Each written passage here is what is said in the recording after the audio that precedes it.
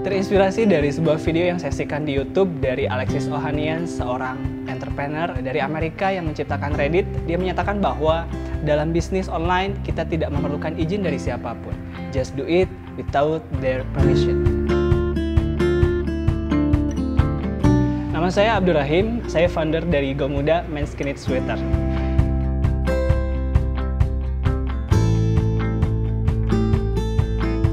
Sebelumnya saya berprofesi sebagai pengajar di salah satu sekolah negeri dan di bimbingan belajar di Bandung. Akan tetapi di saat rutinitas saya sudah mulai jenuh, saya menemukan kembali fashion saya untuk menjadi seorang entrepreneur seperti sekarang ini. Saat itu pula saya sedang bingung, apa yang harus saya lakukan? Produk apa yang harus saya kembangkan menjadi sebuah perusahaan besar untuk masa depan saya nanti? Eh, suatu hari saya ketemu sama teman saya yang memakai produk sweet rajut dan saya pikir itu unik, bagus dan stylish. Maka saya bertanya kepadanya di mana dia membeli produk tersebut. Seiring berjalannya waktu, saya diketemukan dengan pemilik pabrik pembuatan rajut. Setelah saya bertemu dengan pemilik pabrik, kemudian saya berdiskusi dengan beliau mengenai jenis bahan. Bahan apakah yang paling bagus? Beliau menyatakan katun. Setelah satu tahun berjalan, ternyata produk cowok lebih banyak diminati dibandingkan dengan produk sweater cewek maupun anak-anak. Sehingga saat itu saya memutuskan untuk memilih produk cowok sebagai produk andalan Gomuda. Dan sampai saat ini kita dinamakan sebagai Gomuda Men's Knit Sweater.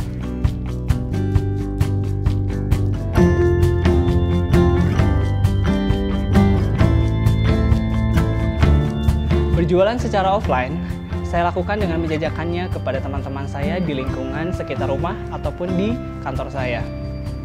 Seiring berjalannya waktu, saya ingin mengembangkan pasar dan saya pikir berjualan secara online merupakan cara yang tepat.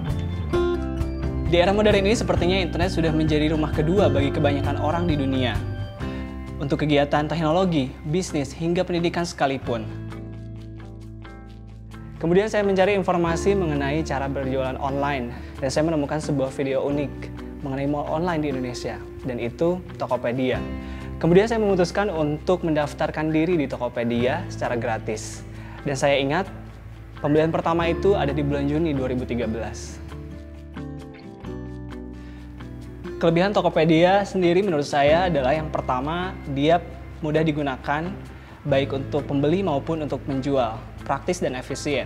Dan yang kedua adalah transparan. Kenapa saya sebut transparan? Karena di sana pembeli bisa langsung mereview produk kita dan bisa berdiskusi langsung dengan kita melalui form diskusi.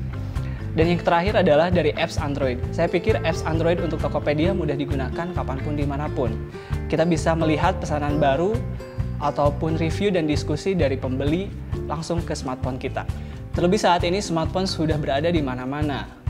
Orang sudah dengan mudahnya dapat tersambung dengan internet hingga 24 jam. Bahkan data menunjukkan bahwa jumlah ponsel akan melebihi jumlah penduduk di dunia saat ini. Sehingga kesempatan untuk memanfaatkan internet lebih jauh akan terbuka lebar untuk mencari referensi ataupun untuk berbisnis online. Kelebihan dari produk GoMuda Men's Skinny Sweater adalah yang pertama dari segi desain. Desain yang kami usung adalah desain yang simple namun juga tetap stylish sehingga bisa dipakai untuk kantor, kuliah ataupun santai. Yang kedua adalah dari segi bahan. Bahan yang kita pakai adalah bahan rajut katun 12 gauge, yang berarti bahwa bahan tidak terlalu tipis juga tidak tebal, sehingga cocok untuk iklim tropis di Indonesia. Dan yang ketiga adalah dari packaging. Kita selalu maksimalkan packaging supaya ketika sampai di penerima masih dalam keadaan rapi. Motivasi hidup saya adalah menjadi orang yang bermanfaat. Bermanfaat bagi diri sendiri, bagi keluarga, bagi orang yang di sekeliling saya, juga bagi orang lain.